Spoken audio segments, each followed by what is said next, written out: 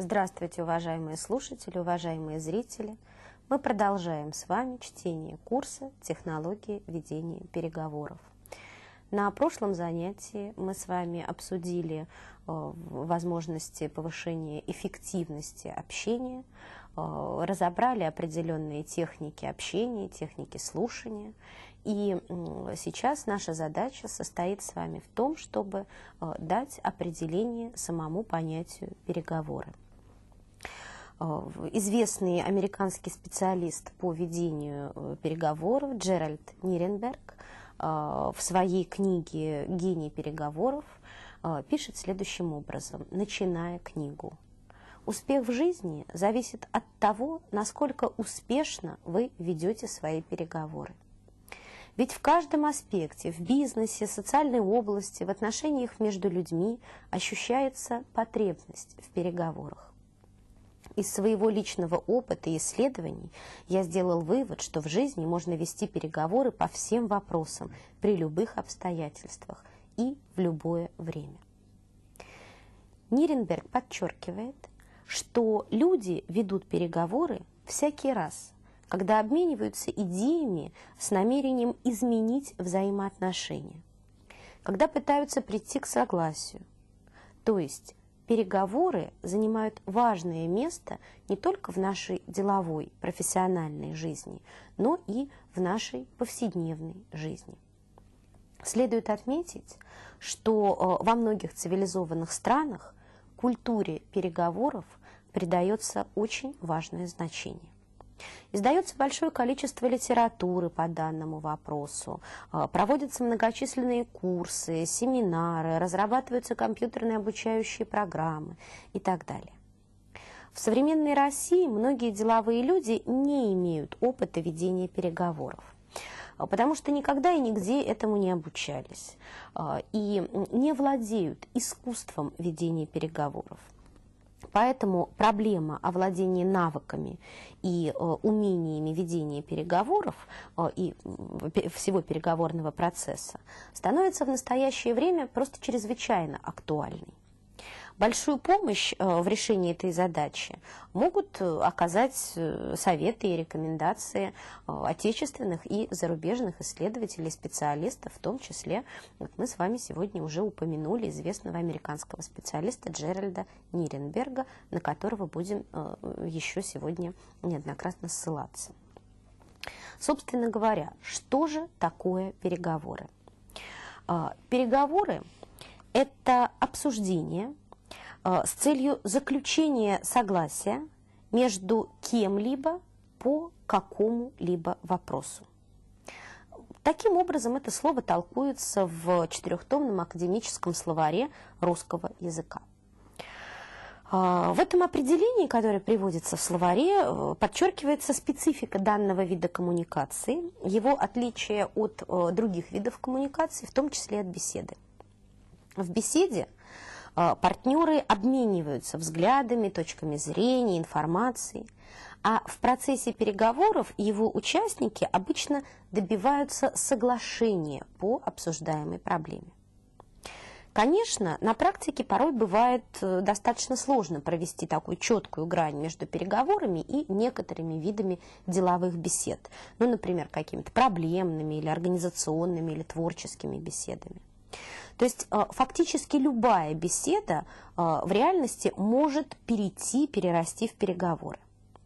В свою очередь, стороны, ведущие переговоры, не всегда готовы к совместным действиям и зачастую ограничиваются обменом взглядами э, и обменом информацией.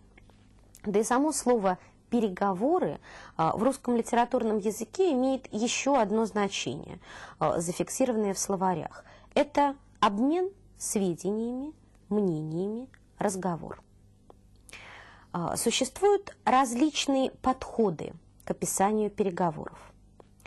А, и, естественно, а, собрав в литературе по этому вопросу разные подходы к выделению видов переговоров, мы можем с вами представить такую достаточно развернутую типологию переговоров.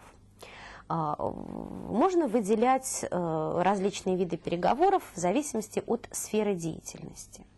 В зависимости от сферы деятельности, в которой они ведутся, мы можем выделять переговоры дипломатические, политические, экономические, военные, торговые, производственно-технические и административные. А, по большому счету этот список может быть продолжен, потому что э, сферы деятельности бывают, э, как вы понимаете, очень э, разнообразны, и в каждой сфере деятельности э, существуют ситуации, при которых необходимо вести переговоры. Э, далее. Переговоры могут э, классифицироваться по такому важнейшему признаку, как цель переговоров. По цели Э, которую ставят перед собой участники переговоров, мы выделяем переговоры о заключении соглашения или договора, о продлении действующих договоренностей, о координации совместных действий, об изменениях в договоре уже существующем и э, каком-либо перераспределении взаимных обязательств, о выполнении соглашений. А, мы можем э, выделить переговоры о нормализации отношений и снятии конфликтных моментов. А, переговоры могут вестись для успокоения оппонентов при затягивании решения той или иной проблемы и могут вестись для привлечения внимания общественности к обсуждаемым вопросам. Как вы понимаете, здесь тоже можно а, продолжать список, потому что цели, которые мы ставим перед собой в процессе переговоров, а, мы также можем выделить а, бесконечное множество. Существует еще один способ классификации переговоров по характеру взаимоотношений между сторонами. По данному признаку выделяются всего три вида переговоров – и названия э, у этих переговоров достаточно условные. Э, это партнерские переговоры, где участники переговоров партнеры, и они работают в условиях сотрудничества. Это конкурентные переговоры. Э, участники этих переговоров, конкуренты, соперники, они борются за получение больших выгод и каких-либо преимуществ. И конфронтационные переговоры а, – это те переговоры, участники которых находятся в конфликтных отношениях. Несмотря на многообразие представленных видов, все переговоры имеют много общего а, – характеризуются определенным набором признаков, которые необходимо учитывать в практической деятельности. Важнейшая особенность переговоров заключается в том, что мнения участников частично совпадают, а частично расходятся. При полном совпадении взглядов оппонентов переговоры не нужны. А, необходимы просто какие-то совместные действия для решения поставленных задач. Если же позиции э, сторон, э, принимающих участие в переговорах, диаметрально расходятся, то есть они прямо противоположны, и участников общения на данный момент вообще э, ничто не объединяет, за стол переговоров также садиться нельзя. А, нужно сначала выждать определенное время, необходимое для сближения позиций противников и для появления определенных точек соприкосновения, которые сделают эти переговоры возможными. То есть э, без э, наличия какого-либо взаимного интереса переговоры также невозможны. Переговоры являются очень эффективным средством разрешения конфликтов, а, каких-либо спорных вопросов. Они нужны для установления доброжелательных отношений и для налаживания сотрудничества. Следует иметь в виду, что переговоры – это не игра, это не война, не поле битвы, а, не театр военных действий. Поэтому недопустимо начинать переговоры с вот таким вот настроением, во что бы то ни стало одержать верх над противником. А, как пишет э, Ниренберг, целью переговоров является не мертвый соперник, не раздавленный, загнанный в угол оппонент. Это никому ничего не дает. А, так, например, э, Ниренберг описывает в своей книге в качестве примера, а, ставшего буквально классическим, историю с газетным бизнесом в Нью-Йорке в 60-е годы.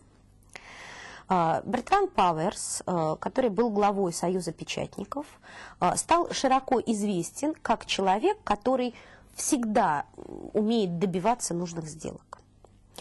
А, с помощью пары э, парализующих забастовок печатники Нью-Йорка добились для себя замечательных контрактов. Они э, смогли получить более высокие зарплаты. А, и не только это. Эм, они э, смогли добиться, например, от газет там, запрета на автоматическую установку таблицы, и тем самым расширили рабочие места. То есть э, массу разных э, льгот они для себя получили. За столом переговоров печатники, безусловно, победили, потому что они стояли до конца. Но к чему это привело? А это привело к тому, что вообще все газеты а, зашли в экономический тупик. А, три главные газеты Нью-Йорка в конце концов слились в одну – то есть представьте себе, что две трети рабочих мест э, были сокращены. Соответственно, по поводу сокращения рабочих мест печатники устроили очередную забастовку, достаточно продолжительную, которая привела к тому, что и оставшаяся ведущая газета просто-напросто разорилась. Что получилось в итоге? Нью-Йорк остался там, с одной вечерней и двумя утренними газетами, а, а тысячи работавших в центральных газетах людей остались без работы. С одной стороны, вроде бы переговоры прошли успешно, печатники добились необходимого результата. Однако в итоге этих переговоров пациент оказался просто-напросто мертв. Да? Это лечение, которое привело не к выздоровлению, а, соответственно, а, к значительно более тяжелым и печальным последствиям. И вот на самом деле э, с подобными ситуациями приходится сталкиваться достаточно часто. Э, опять-таки, пример, который, к сожалению, применительно к нашим сегодняшним реалиям, не единичен. В последнее время администрация городов и районов допускает, например, перепрофилирование и использование не по назначению зданий дошкольных учреждений которые э, не являются э, там, муниципальными, городскими, а принадлежат тем или иным ведомствам. Естественно, это вызывает э, тревогу со стороны работников народного образования, родителей, общественности и так далее. Но, тем не менее, ситуация достаточно распространенная. Вот ситуация выглядит следующим образом. Да? В определенном городе, не будем уточнять в каком, полгода не работал ведомственный детский сад. Его якобы закрыли на ремонт, но при этом все объявленные сроки ремонта прошли, детский сад не открывается. И э, надо отметить, что до закрытия детский сад был неплохо оборудован, там удобно расположен, там работал хороший коллектив воспитателей и так далее.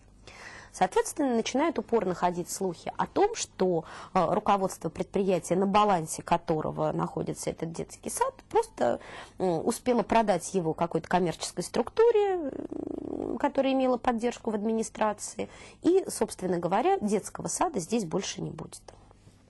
Сотрудники детского сада, естественно, не желая потерять работу, неоднократно обращаются в администрацию с просьбой помочь решить этот вопрос.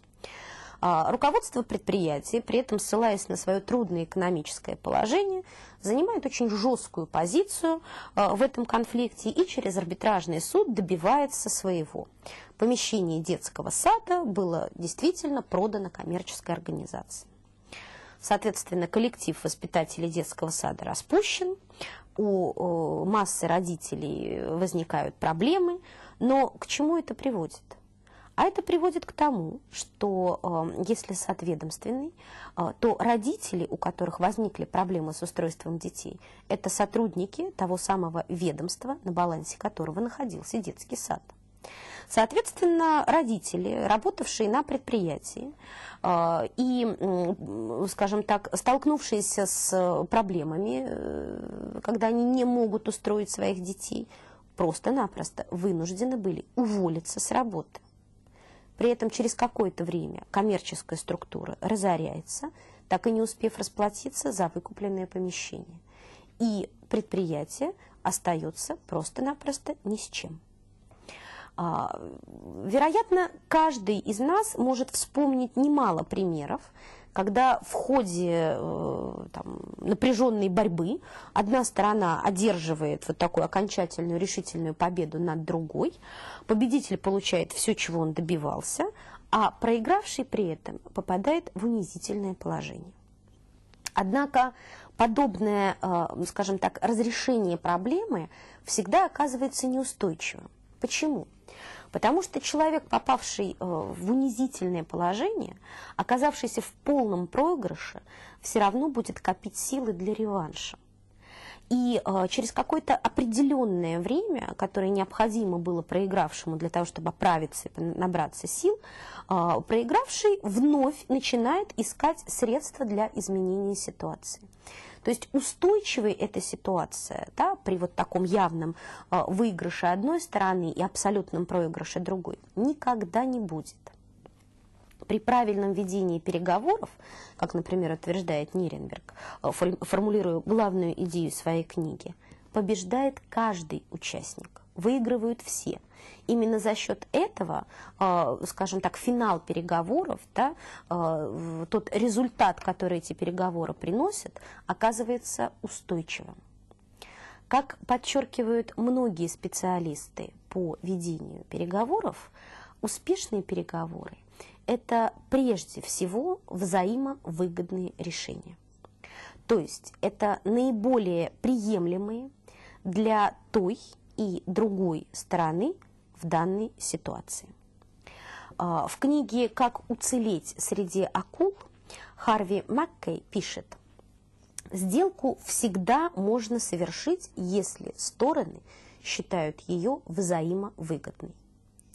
Девять из десяти судебных исков обычно завершаются до рассмотрения в суде, поскольку даже самые ожесточенные противники сядут за один стол – если их удастся убедить, что для них самих переговоры выгоднее, чем схватка. Что бы вы ни пытались купить или продать, сделка состоится, если вы сумеете продемонстрировать другой стороне, чем она для нее выгодна. Рассказывают, что когда Моисей спустился после того, как получил от Господа десять заповедей, он сказал, «Так вот, мы это обсудили вместе. Я уговорил его ограничиться десятью, но запрещение прелюбодеяния все-таки осталось. Ну, мы не можем с вами, э, скажем так, относиться всерьез к примеру, который приводит в своей книге Харви Маккей, но а, вот эта заинтересованность сторон является абсолютно очевидной. Абсолютно все исследователи обращают внимание еще на один очень важный аспект ведения переговоров. Они считают, что в переговорах главным является не анализ позиции оппонентов, хотя это бесспорно важно э, и необходимо, а учет интересов сторон. То есть на первый план выдвигается поиск баланса интересов и их соотношения. Основной вопрос состоит в том, как разрешить противоречие интересов и в наиболее полном объеме реализовать их совпадение. В зарубежных пособиях по переговорам приводится такой пример. Две сестры спорят о том, как разделить апельсин. Каждый излагает аргументы, там, которые э, обосновывают э, ее желание получить, если не весь апельсин, то, по крайней мере, большую его часть они долго спорят и в конце концов решают разделить апельсин пополам. На первый взгляд, безусловно, решение кажется справедливым.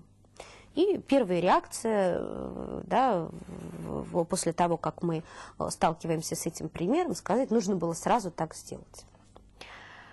Однако решение это справедливо только на первый взгляд. А, потому что в данной ситуации мы приняли решение, исходя из вот такого вот, понимаете, количества участников. Да? И деление провели тоже количественное. Но мы забыли спросить да, о том, а, при том, что поделили апельсин поровну, мы забыли спросить о том, зачем каждой из сестер нужен был этот апельсин. Одна хотела выжать апельсиновый сок, а второй нужна была цедра для того, чтобы испечь кекс. И деление апельсина пополам в итоге оказалось невыгодно ни одной, ни второй. И э, на самом деле, о чем говорит этот пример? Он говорит о том, что стороны долго и упорно обсуждают позиции, но не затрагивают самого главного. Они не затрагивают вопроса о том, зачем им это надо. Даже не задумываются над этим не учитывают интересов друг друга.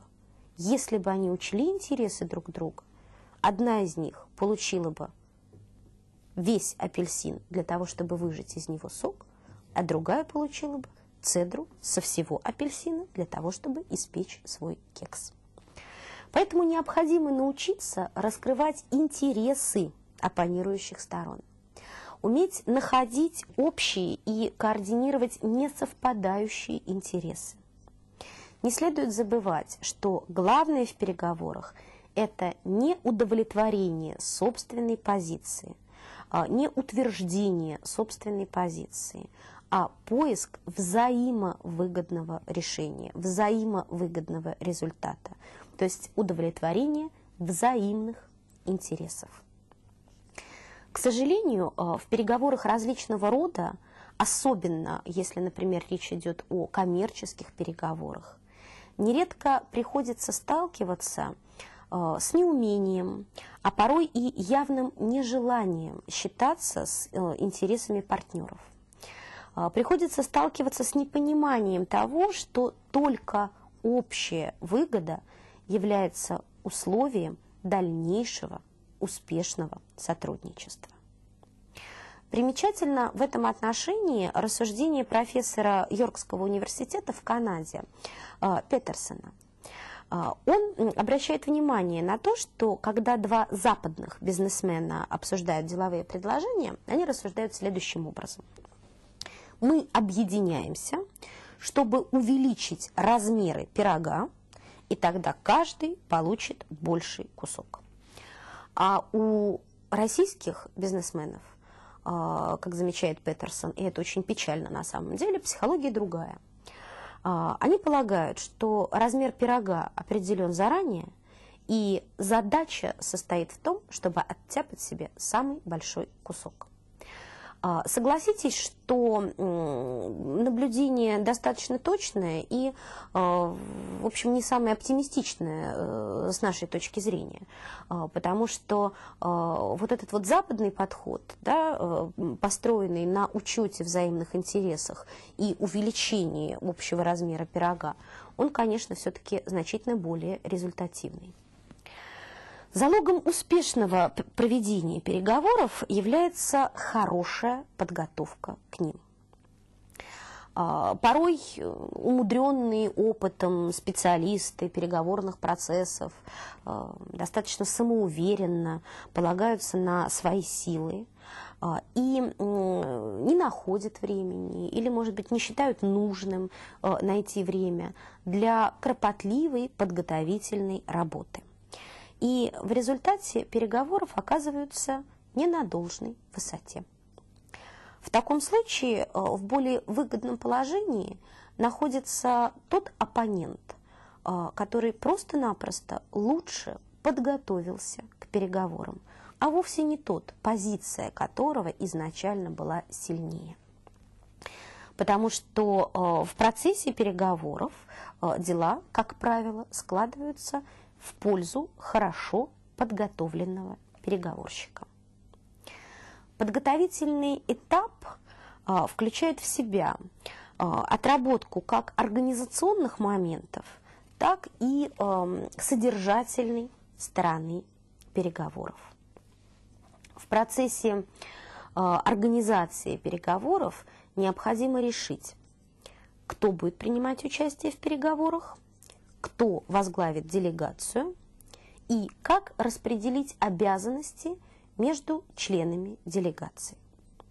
При этом нужно определить место, время встречи, а, нужно составить обязательно программу переговоров, а, уточнить регламент работы, подготовить помещение, оборудовать рабочие материалы, дать э, все необходимые поручения сотрудникам, которые будут эти переговоры обслуживать.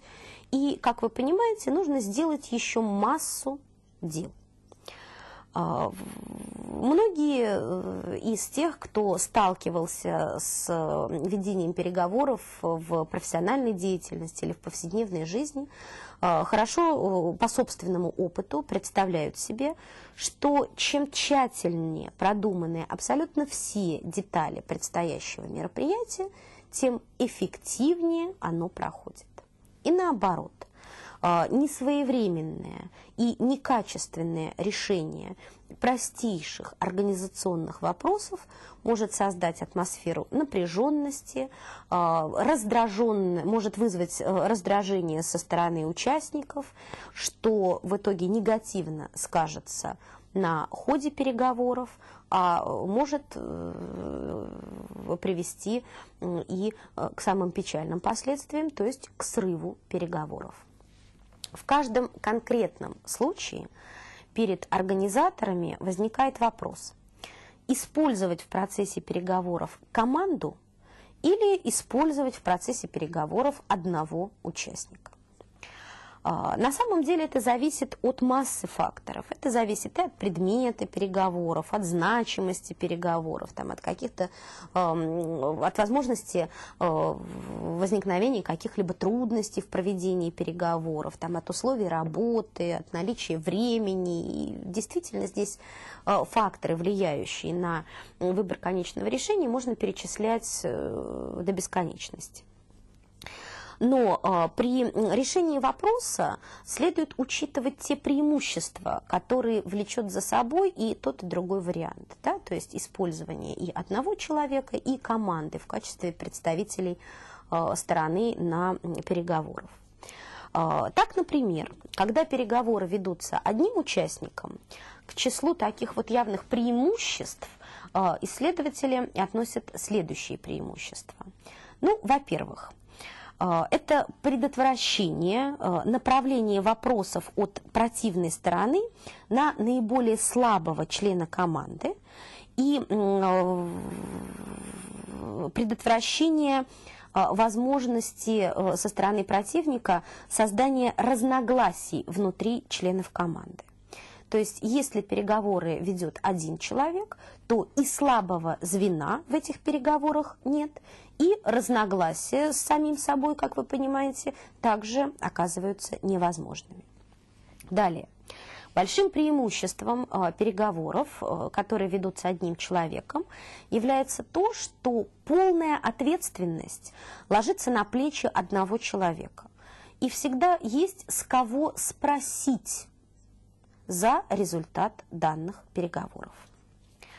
А, третьим преимуществом, которое выделяют исследователи а, в переговорах, проводимых одним человеком, является возможное предотвращение а, ослабления заявленной позиции. Почему? Потому что когда внутри команды возникают определенные разногласия, то позиция, естественно, ослабляется если э, переговоры ведутся одним человеком, э, который, э, скажем так, стоит на определенной позиции, то у этой позиции появляется необходимая устойчивость. Ну и четвертым преимуществом является то, что при,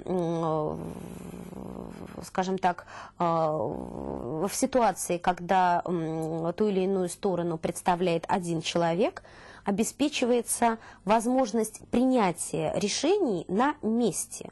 То есть решений о том, делать какие-либо уступки там, или наоборот добиваться каких-либо уступок от оппонента. А, если переговоры ведутся одним человеком, ему не с кем советоваться, а, ему а, не надо обращать внимание на мнение других, он это решение принимает самостоятельно, ответственность лежит на нем, поэтому решение, соответственно, принимается непосредственно на месте. Но на самом деле в большинстве случаев все-таки переговоры представляют собой, знаете, такой командный спорт. И, естественно, чаще всего а, в проведении переговоров а, участвует команда, которая добивается положительных результатов благодаря тому, что, во-первых, в команде а, используются люди различных специальностей, которые могут, соответственно, скорректировать неправильное восприятие фактов. То есть, когда э, переговоры ведет один человек, да, если он изначально ошибся, некому его поправить. В команде, соответственно, этого не происходит. Здесь всегда есть э, кто-то, да, кто в состоянии трезво оценить ситуацию и, скажем так, найти суть этой ситуации. А, во-вторых, преимуществом командного ведения переговоров является возможность а, взвешивания и согласования мнений. Как вы понимаете, когда э, помните хорошую русскую пословицу о том, что одна голова хорошо, а две лучше, и, э, соответственно, когда есть возможность всесторонне обдумать ситуацию, то и решение оказывается более взвешенным. Ну и э, третьим важным преимуществом командного ведения переговоров э, является возможность э, выставить другой стороне более широкую оппозицию. Способный лидер команды э, может использовать э, разных членов команды как исполнителей для того, чтобы добиваться уступок а, или для того, чтобы не позволять делать уступки. А, подобный подход э, можно, знаете, условно назвать «я должен проконсультироваться по этому поводу с моим партнером». А, всегда есть возможность, скажем так, оттянуть некое принятие решений, потому что может возникнуть такая необходимость более подробного обсуждения этого с партнером. А, но, как вы понимаете, в переговорах важно не только кто принимает участие, но и для участников переговоров не безразлично, где проводятся переговоры. А, переговоры, как вы понимаете, могут проводиться как на своей территории, да, то есть в собственном офисе, так и на территории оппонента, да, то есть когда мы играем на чужом поле. А, при определении места встречи нельзя забывать о тех выигрышных моментах, которые э, влекут за собой обе ситуации. А, вот что по этому поводу пишет Ниренберг. Он э, обращает внимание на то, что если встреча проводится на э, своей площадке, если мы играем на своем поле, то, э, соответственно, у участников переговоров возникают следующие преимущества. Ну, во-первых, а, у нас появляется возможность получить одобрение а, собственного руководства а, по вопросам, которые э, всплыли вдруг в процессе переговоров и которые мы ранее не предвидели. Соответственно, э, обращение к руководству, которое находится здесь же, возможно только в том случае, если переговоры ведутся на своей площадке. Во-вторых, а, соответственно, а, на своей площадке а, мы лишаем противную сторону возможности преждевременно завершить переговоры и уйти, э, когда им удобно, как они могли бы это сделать, находясь в своем собственном офисе. Если уж люди к нам приехали, то тогда, собственно, понимаете, встать и демонстративно уйти будет не просто невежливым, но еще и непрофессиональным с их стороны. В-третьих, мы помним да, о том, что если переговоры ведутся на нашей территории, то мы можем заниматься параллельно э, целым рядом других дел, э, иметь под рукой собственные средства производства, э, периодически там, отвлекаться. Если наши партнеры берут тайм-аут и говорят о том, что им нужно посовещаться, нам не обязательно сидеть и ждать, мы можем использовать эффективно рабочее время, освободившееся. Далее переговоры на нашей территории дают нам определенное психологическое преимущество, да, потому что противная сторона приходит к нам, они в гостях, вы э, прекрасно знаете, что в спорте, да, если э, соревнования проводятся да, на родине спортсмена, то ему намного, э, с одной стороны, ответственность больше перед своими зрителями или перед своими болельщиками, а с другой стороны, родные стены помогают. Поэтому, естественно, спортсмены всегда предпочитают соревнования, которые проходят на, скажем так, их территории.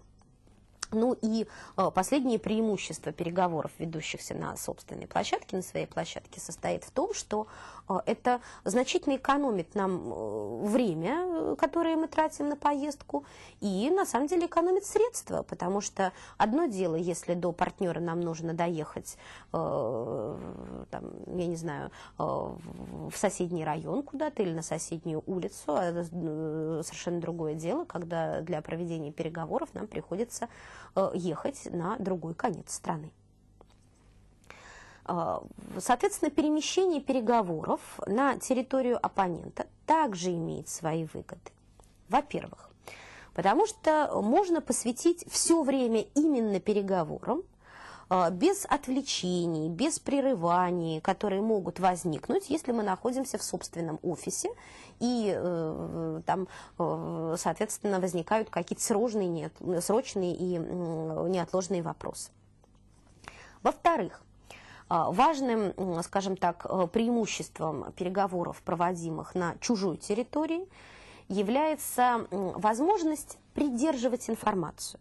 Потому что у нас всегда есть возможность заявить, что вот в данный момент у нас эта информация отсутствует, у нас там нет ее под рукой, Эм, нам необходимы какие-то там документы. Э, как вы понимаете, если мы находимся в своем офисе и у нас под рукой этих документов нет, это будет выглядеть более чем странно. Э, далее мы э, обращаем внимание на то, что нахождение, скажем так, на территории Э, партнера э, дает нам уникальную возможность э, пообщаться не только с официальным представителем, да, который делегирован для участия в переговорах, ну и, например, зайти к руководству противной стороны, да, посмотреть вообще, что представляет собой, в принципе, компания, организация, производство и так далее. Иногда, знаете, общение с руководством оппонента приносит очень большую пользу. А, ну и еще один, а, вроде бы очень а, простой такой на первый взгляд момент, но дающий действительно серьезные преимущества, состоит в том, что тот, кто проводит переговоры, возлагает на себя, э, понимаете, бремя организационное. Да? Здесь есть масса хозяйственных дел по организации переговоров. И вот если мы, э, скажем так, принимаем участие в переговорах, проводимых на чужой территории, то бремя подготовки этих хозяйственных дел мы будем, э, соответственно, возлагать на оппонента. Да? При этом оппонент не будет свободен от других своих обязанностей, и хозяйственные дела на нем, и масса других обязанностей на нем, а мы при этом спокойно, сосредоточены и э, можем э, вести переговоры, ни на что не отвлекаясь. То есть на самом деле и в проведении переговоров на своей стороне есть целый ряд преимуществ, и в проведении переговоров на стороне оппонента тоже есть ряд преимуществ. Но, как вы понимаете, э, периодически возникают ситуации, когда ни одна из этих альтернатив не кажется удовлетворительной. И в таком случае, безусловно, у нас всегда есть возможность э, встретиться с нашим оппонентом где-нибудь на нейтральной территории. Э, ну, такой нейтральной территорией, например, может считаться кафе. Как вы понимаете, если это деловая встреча и если это деловые переговоры, то а, в подавляющем большинстве случаев они будут представлять собой либо деловой завтрак, либо деловой ленч. Ужин – это такая, понимаете, форма общения, которая все-таки предполагает к выяснению каких-либо личных а, отношений и к ведению каких-то личных разговоров, но не к решению деловых вопросов. Итак, если это деловой завтрак, то мы помним о том, что именно завтрак э, может оказаться самым лучшим временем для решения деловых вопросов. Но здесь следует иметь в виду, что далеко не все рождаются жаворонками и э, могут полноценно заниматься делами рано утром. А как вы понимаете, 11 часов утра – это уже не время завтрака. Поэтому, а, соответственно, э, мы учитываем, что встречи за завтраком а, в большей степени подходят, например, для иногородних гостей, а, подходят для того, от кого вам требуются немедленные решения, и нужны тогда, когда вопрос, э, требующий обсуждения, достаточно короток, или когда, э, собственно говоря, наше время очень ограничено тогда мы, э, собственно говоря, прибегаем к э, организации делового завтрака. Э, встречу необходимо назначать на то время и в том месте, которые будут удобны для гостя. Заблаговременный заказ, если речь идет о завтраке, может, как вы понимаете, не получиться. Поэтому, соответственно, принимающей стороне нужно прийти пораньше, для того, чтобы занять столик и дать э, знать э, метрдотелю, что мы ждем гостя. При этом нашего компаньона обязательно нужно поставить в известность, что мы будем его ждать внутри за столиком, чтобы он э, не тратил свои драгоценные утренние минуты на то, чтобы простоять на крылечке кафе, пока мы ждем его в, собственно говоря, зале. Увидев, что гость прибыл, нужно привстать или подняться в полный рост э, для того, чтобы он нас увидел, смог сориентироваться, и это будет уже своего рода э, началом приветствия. Далее надо обязательно проследить, чтобы э, гостю немедленно подали кофе и как можно э, быстрее принесли заказ. Именно поэтому для делового завтрака мы выбираем рестораны или кафе, потому что, э, соответственно, уровень обслуживания в ресторанах или кафе все-таки выше, чем где-то в рабочем кафетерии. На самом деле, сам прием пищи во время делового завтрака, конечно, имеет второстепенное значение – а, но, тем не менее, все-таки хотелось бы как-то быть уверенным в том, что а, кофе, который подадут, э, вполне э, пригоден для употребления. А, приступать к делам нужно сразу. Завтрак не располагает к ведению задушевных бесед. Мы помним о том, что еда и беседа должны одновременно прийти к успешному завершению. Понимаете, никто не завтракает по два часа, поэтому, соответственно, вопрос, который обсуждается за завтраком, должен быть кратким. Помним, что платит всегда пригласивший. А, оплата э, в большинстве э, случаев э, будет более уместна наличными. Почему следует платить наличными, а не кредиткой? Просто потому, что это ускорит процесс и будет вполне уместно. Единственный случай, единственная ситуация, при которой все-таки лучше обратиться к оплате кредитной карточкой, если мы предполагаем, что сумма счета столь велика, что может смутить нашего партнера. На словах мы при этом высказываем э, благодарность э, за обслуживание и, естественно, э, никакого демонстративного, понимаете, озвучивания размера чаевых здесь не предполагается. А, соответственно, если это не деловой завтрак, э, то кафе или ресторан может использоваться для проведения делового ленча.